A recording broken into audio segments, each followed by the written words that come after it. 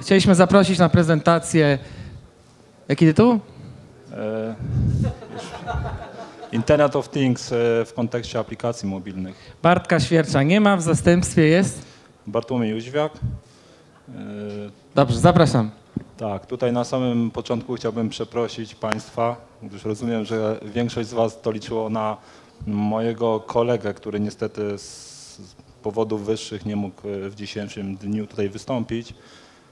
E, Jak są jakiekolwiek re- reklamacje, proszę pisać bezpośrednio do niego na adres mailowy, myślę, że się ucieszy. E, Więc tak jak mówiłem, nazywam się Bartłomiej Jóźwiak, e, jestem tutaj w zastępstwie. Postaram się godnie reprezentować drugiego Bartka. Bartek lata w chmurach, my trochę spadniemy na ziemię, więc mam nadzieję, że będziecie Państwo zadowoleni. E, O czym bym chciał tutaj z Państwem porozmawiać? E, e, W naszej firmie e, która zajmuje się między innymi tworzeniem aplikacji moto, mobilnych systemów budowanych. E, Do, do tej pory napisaliśmy e, kilka aplikacji oraz kilka takich e, sys, to, to systemów budowanych, e, które musiały się między sobą komunikować. E, W trakcie naszych prac generalnie e, no, mieliśmy e, kilka problemów e, związanych tak naprawdę z, z, przesyłaniem dan do danych pomiędzy tymi aplikacjami bądź urządzeniami. I na dzisiejszej prezentacji chciałbym poruszyć tak naprawdę dwa aspekty, które tak naprawdę sprawiły nam najwięcej pro, to, pro, to problemów. Jest to tak naprawdę fotoformat danych, czy serializacja danych, którą postaram się omówić trochę szerzej. I drugi temat e, to sposób e, przesy- to przesyłania danych, a raczej powiedzmy e, kanał do dystrybucji tych danych, który omówię zgrubnie z racji tego, że problem jest dosyć obszerny, a my nie mamy wystarczającej ilości czasu. Więc pójdźmy najpierw e, w pierwszy temat. Obecnie tak naprawdę mm, format danych, który możemy przesyłać pomiędzy aplikacjami, ym, może to występować bądź w formie binarnej, bądź tekstowej. W kontekście aplikacji mob, to, to, to mobilnych y, raczej wykorzystuje się obecnie ten drugi format, czyli format to tekstowy. I tu głównie e, tak naprawdę to wszystkie aplikacje to używają JSON-a, rzato rzadziej ich to XML-a, więc y, jak gdyby skupię się najpierw na, na JSONie, a, po, a, po, a pominę ten e, pierwszy e, format danych. Więc e, mam nadzieję, że większość z Państwa zna ten format danych. Jeżeli nie, to jego dokładna specyfikacja znajduje się na, na, na stronie podanej w prezentacji. I co przemawia tak naprawdę za tym, że JSON stał się tak popularnym e, formatem e, e, w świecie aplikacji mobilnych? Po pierwsze jest on niezwykle popularny i, i rozpowszechniany przez, przez większość twórców tych aplikacji. Jest to format tekstowy, jak, jak powiedziałem na początku. Jest dosyć dobrze opisany i zdefiniowany. Na internecie można znaleźć e, bardzo dużo przykładów, opisów, e, różnego rodzaju bibliotek, e, parserów, które jak gdyby myślę, że w wycz- wy- wyczerpujący sposób po- to, poruszają wszelkie aspekty związane z, z JSON-em. Jest on również niezależnym fotoformatem od, języku, od, od języka protoprogramowania, więc tak naprawdę e, e, to tylko od e, programisty za to, za to, za to, to zależy w jakim języku za to zostanie e, napisany parser e, do tego formatu danych. Tutaj są przykłady, jak mniej więcej wygląda JSON. E, Jest to dosyć e, jasno zrozumiała struktura danych, którą jesteśmy w stanie przeczytać. W przypadku jakichkolwiek problemów możemy łatwo e, przetestować, zdebagować, e, bądź nawet ręcznie zmienić. E, Więc myślę, że tutaj z tym nie ma problemów i większość z Państwa dobrze zna ten format. Natomiast trochę gorzej wygląda sprawa, jeżeli chcemy na przykład już w samej aplikacji tak naprawdę z danych, które mamy w aplikacji stworzyć taki opis w JSONie. Tutaj jest akurat przykład z, z użyciem biblioteki libjson. No, pokazuje ona, że kod nie jest zbyt, zbyt zrozumiały i większość rzeczy tak naprawdę, które chcemy zawrzeć w wiadomości JSON, musimy tak naprawdę ręcznie napisać w naszej aplikacji. To zajmuje dużo czasu i też jest przyczyną wielu błędów szczególnie jeśli e, e, aplikacja komunikuje się z jakimś zewnętrznym serwerem, który jest napisany w innym to, to języku niż sama aplikacja. E, to skutkuje tym, że mamy po prostu do napisania dwa razy tą, tą, tą samą rzecz, tyle że w dwóch różnych językach. Tak? I teraz się zastanówmy, dlaczego nie, nie JSON, więc nie wiem, czy ktoś z Państwa kiedykolwiek e, próbował użyć JSONa w, w aplikacjach typu C, C++. E, my to próbowaliśmy robić i tak naprawdę mm, nie ma nawet dobrej to biblioteki tutaj, która w jakiś e, ładny sposób wspiera tak naprawdę przetwarzanie wiadomości to JSON. Więc albo po to pozostaje e, do napisania własna to bito biblioteka, która za to zajmuje sporo czasu i którą trzeba dobrze przetestować, bądź można użyć którejś z ogólnie to dostępnych. No niestety trzeba ją dosyć dobrze to poznać i wiedzieć jakie ma wady i zalety. Tak samo się dotyczy e, klas czy struktur. Nie wiem, czy ktoś z Państwa próbował kiedykolwiek automatycznie przekształcić e, to JSONa do klasy bądź struktury, bądź vice versa. E, ten problem też jest nietrywialny, jeśli chodzi o JSONa i tutaj tak naprawdę trzeba poświęcić mnóstwo czasu, żeby napisać swój własny parser czy serializer, który tak naprawdę no, poza tym, że będzie dedykowany pod jeden język, też może zawierać sporo bugów i tak naprawdę y, no nie będzie zbyt dobrze y, rozszerzalny, bo przy każdej próbie rozszerzenia całej klasy czy struktury może się okazać, że musimy po prostu mm, sporą rzecz przepisać.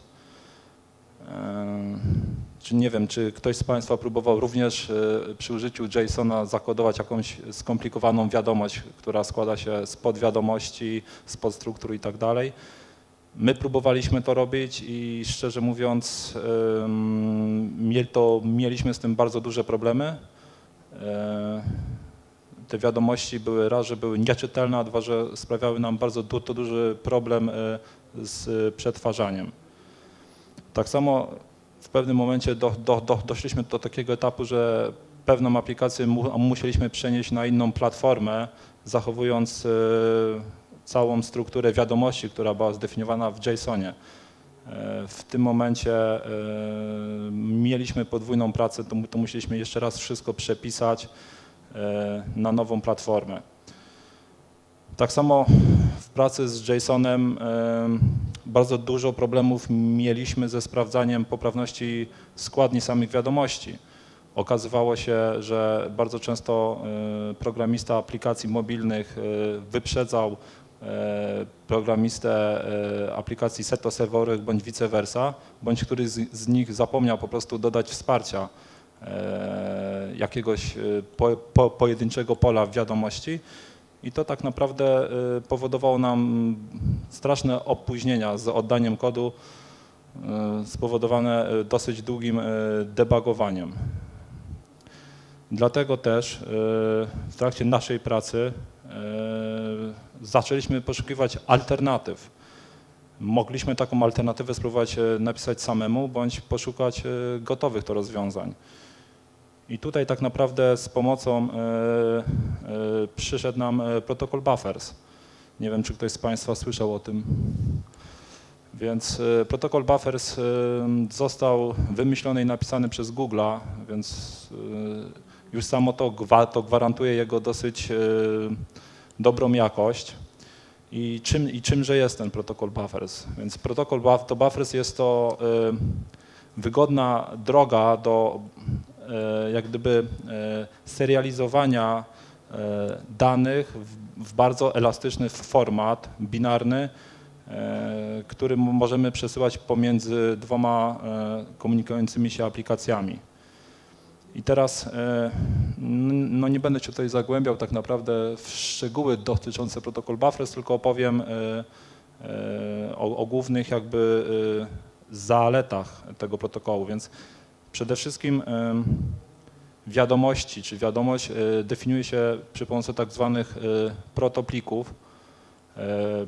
Protoplik e, zawiera, e, w protopliku tak naprawdę definiujemy całą strukturę wiadomości, e, którą chcemy potem przekształcić na dowolny język.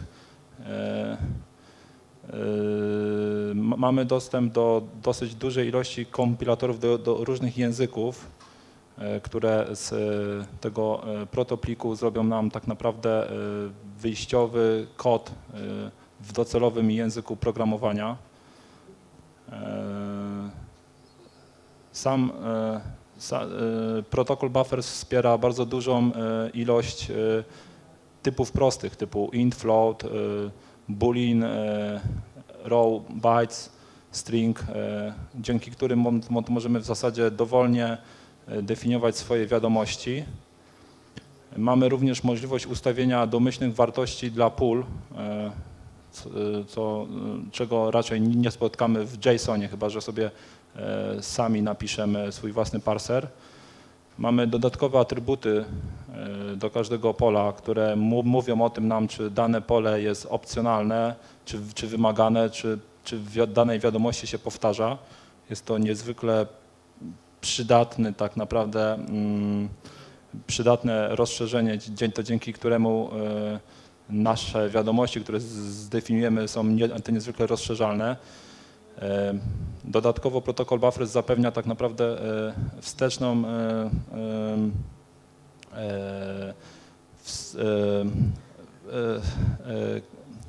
tak, wsteczną zgodność z poprzednią to wersją protokołu, który sobie zdefiniujemy, co tak naprawdę nie jest możliwe w JSONie.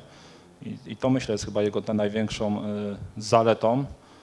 E, dodatkowo tu jest ciężko pole, po, polemizować, czy e, dane, które otrzymujemy na wyjściu, protokół buffers, które możemy przesłać, te dane są w postaci binarnej. Tak naprawdę nie wiem, czy to jest za, zaleta, czy wada.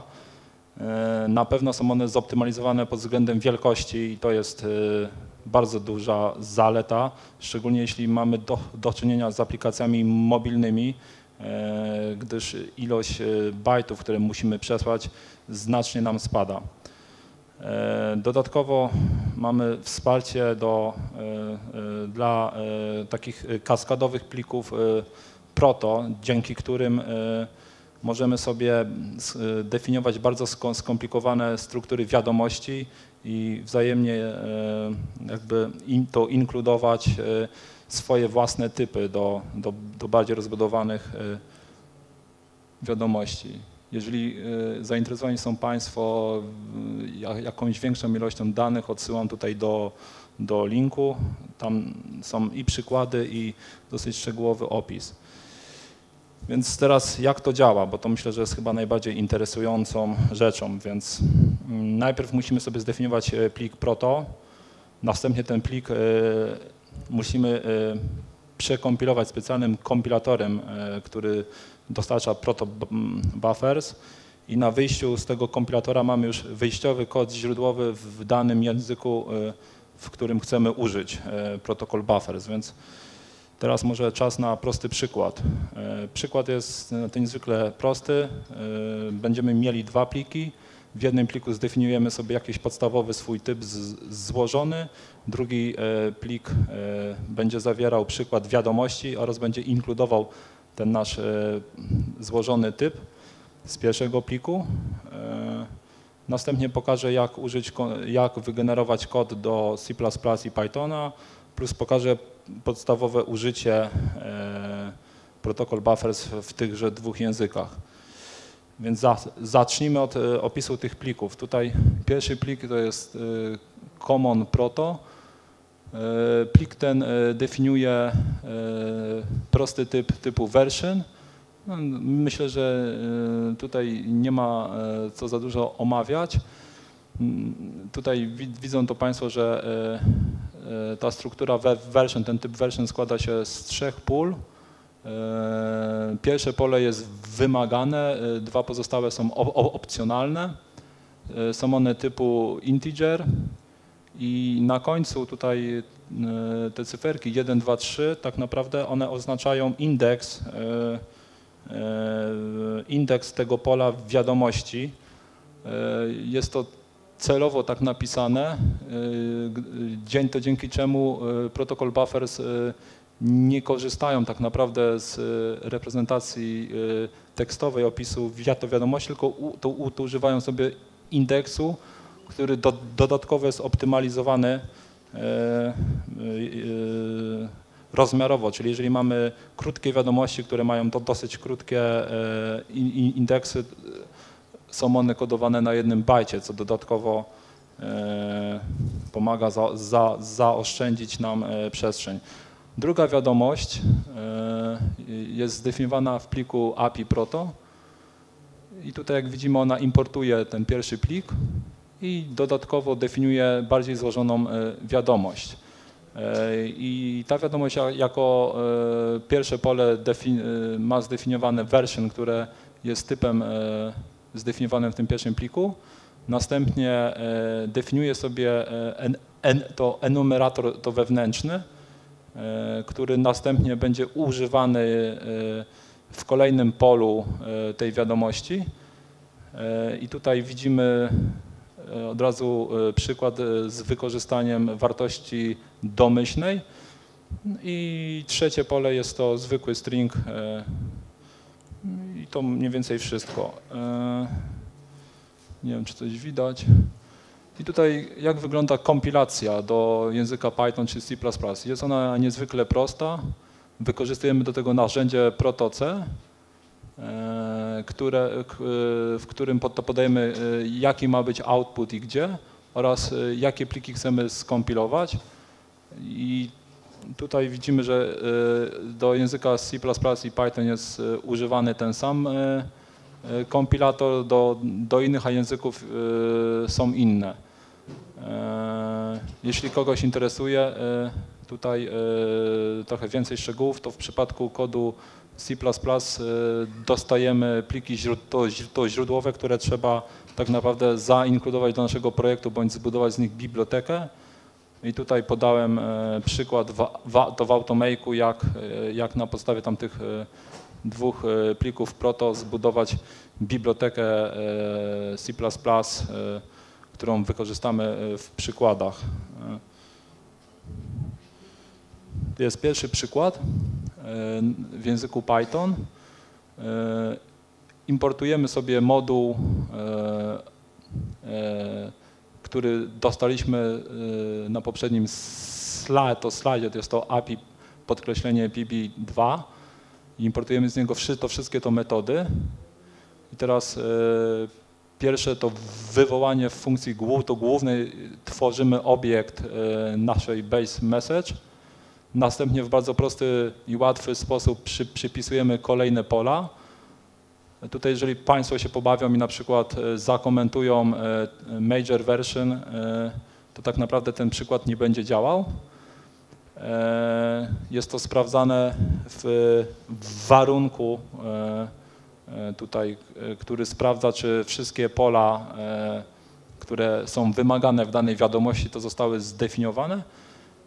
I następnie na samym końcu tej e, funkcji main e, rob- robimy prostą serializację i to jest w zasadzie e, wszystko, co, co, co musimy tutaj zrobić. Myślę, że w porównaniu z JSON-em jest to znacznie prostsze. Tu jest przykład parsera, czyli chcemy teraz te dane, które poprzednim przykładzie e, zapisaliśmy do pliku, chcemy je odczytać. Więc na początku tworzymy sobie pusty obiekt base message.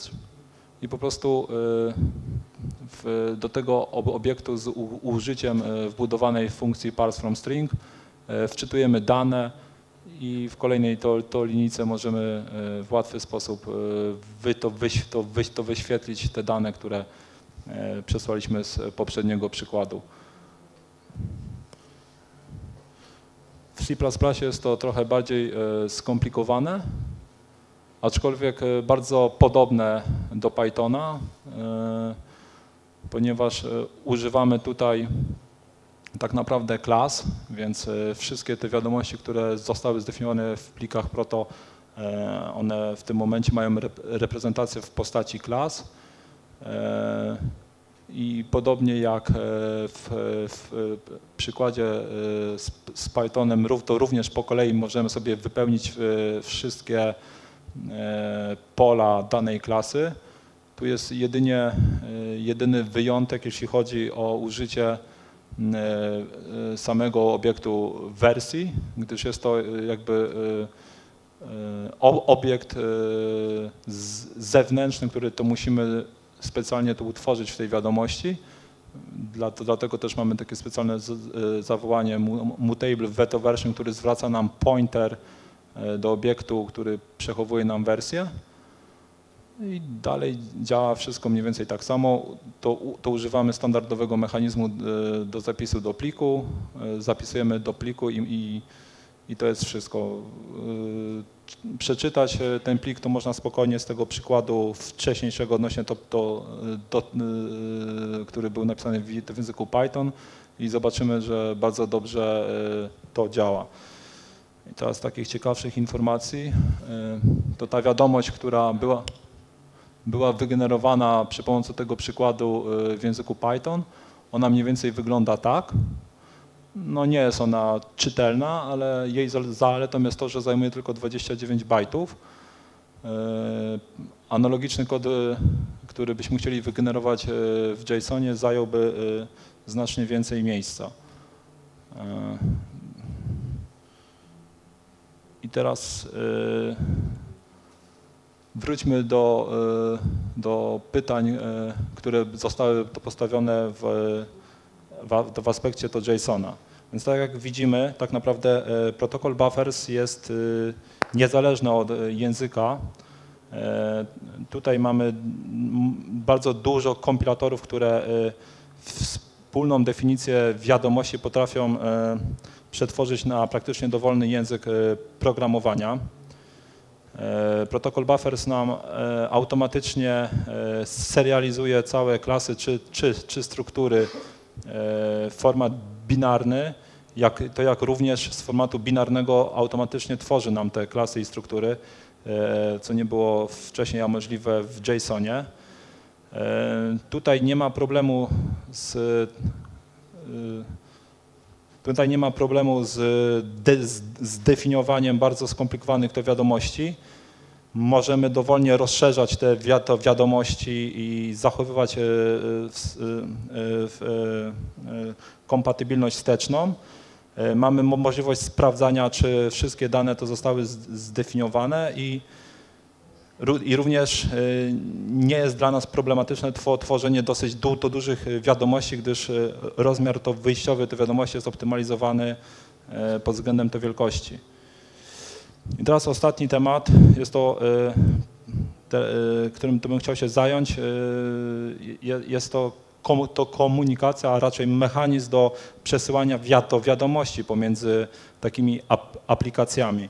My w naszej praktyce tutaj mieliśmy też sporo problemów z tym i okazało się, e, że używanie e, typowego rozwiązania, czyli serwera i aplikacji i takiej komunikacji to point-point niekiedy nie zawsze jest optymalne i, poszuk i, poszukiwaliśmy po prostu dla nas optymalnego to rozwiązania. I takim optymalnym rozwiązaniem było wykorzystanie message brokera, czyli e, takiego to komponentu, który jest po, e, w ścieżce pomiędzy dwoma aplikacjami bądź e, punktami to, to, to końcowymi i on tak naprawdę nam buforuje, filtruje, rutuje wiadomości pomiędzy producerem a konsumerem.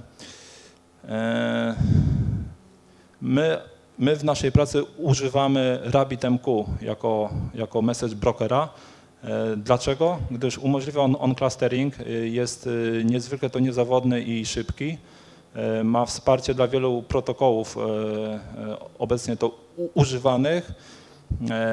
Można znaleźć bito biblioteki napisane w wielu to językach to, to programowania. Dodatkowo posiada płatne wsparcie to techniczne, jeżeli klienci to wymagają niezawodności i posiada bardzo duży zestaw pluginów. I teraz może tutaj omówię proste użycie message brokera. Więc tak naprawdę czym to czym jest message bro- broker? E, On tak naprawdę to służy nam do e, jakby do zarządzania i przechowywania e, wiadomości, to wiadomości, które producent pro, produkuje, a, kons, a konsumer nie to nie zdąży jeszcze odebrać. W podstawowym takim to, to, to użyciu on po prostu definiuje nam kolejkę, do której aplikacja może pisać, a, a serwer czy, czy konsumer po prostu w razie to możliwości po prostu odbiera te wiadomości i parsuje. E, to drugi przykład tak naprawdę po, pokazuje nam użycie e, dwóch to konsumerów, czyli e, producent, który może produkować bardzo dużą ilość wiadomości. On te wiadomości to umieszcza w kolejce, która znajduje się w message brokerze, a następnie my możemy postawić sobie dwie, trzy, cztery to instancje z serwera, który tak naprawdę e, czyta te wiadomości i, i, i je przetwarza. E, Kolejny prostszy przykład jest E, I tutaj tak naprawdę mamy do czynienia z, z, algorytmem Robin Round, czyli tak naprawdę wiadomości są przed, to przetwarzane przez każdego to, to konsumera po kolei.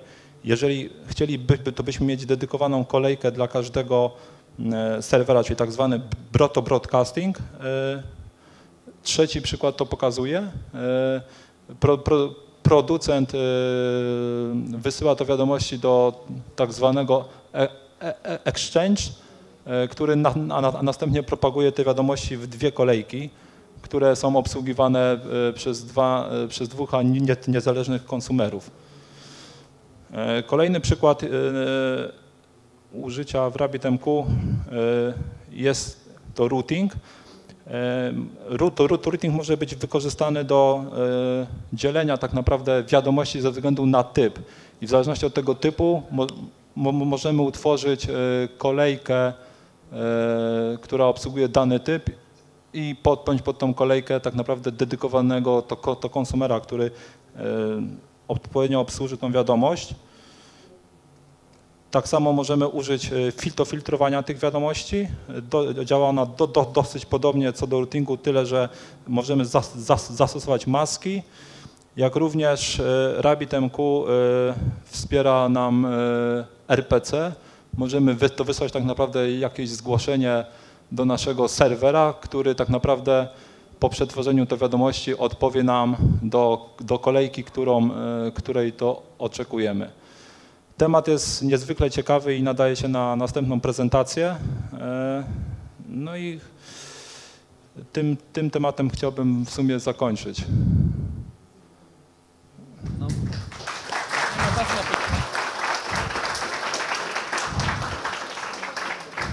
Słuchajcie, to ja wam dziękuję bardzo za przybycie. To była ostatnia prezentacja i teraz wszystkich zapraszam na główną aulę. Tam będzie rozdanie nagród i